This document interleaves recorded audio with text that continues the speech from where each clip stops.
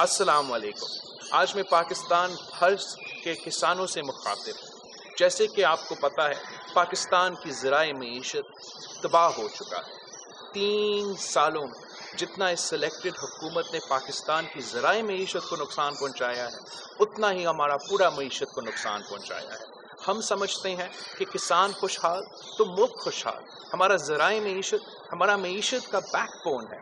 अगर हम ज़राए मीशत को खड़ा कर देंगे तो पूरा का पूरा मीशत तरक्की कर सकता है। पाकिस्तान पीपल्स पार्टी के दौर में हम पाकिस्तान का चावल, पाकिस्तान का गंदम, पाकिस्तान का चीनी, अपना ज़रूरियात पूरा करते थे और बाहर भी एक्सपोर्ट करते थे। इस वक्त हम बाहर से चीनी, चावल और गंदम मंगवा रहे हैं। जब से खान साहब की हुकूमत आया है, किसानों को उनकी फ़सल की कीमत नहीं मिल रहा इनपुट इनपुट कॉस्ट में इतना इजाफा हुआ है।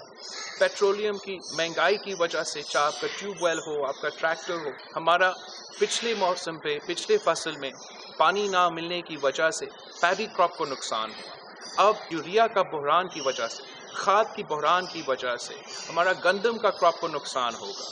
हम समझते हैं कि हम चाहते हैं कि हमारा जो एग्रीकल्चर सेक्टर है, जो फ़ार्मिंग है, वो एक बाइज़्ज़त और मुनाफा बख्श कारोबार हम समझते हैं कि इस सेक्टर के लिए बहुत ज़्यादा इन्वेस्टमेंट की ज़रूरत है।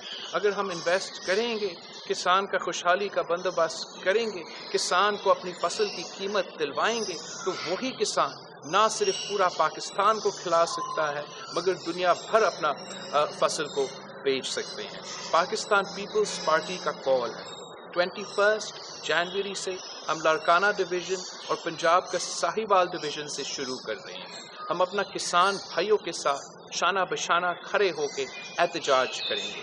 फिर ट्वेंटी फोर्थ जनवरी तक ये एहतजाज इन ताला मुल्क भर में फैलेगा। हम हर डिवीज़न में इंशाल्लाह अपना किसान मार्च ट्रैक्टर मार्च करेंगे। किसानों को इश्यूज़ को तोज्जत दिलवाएँगे।